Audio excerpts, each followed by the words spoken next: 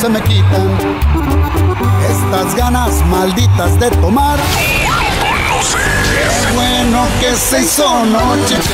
Ese 20 de septiembre, en la explanada de la feria de Tecomán, Alfredo Ríos, el comande. Sí, señor, yo soy de rancho, soy de botas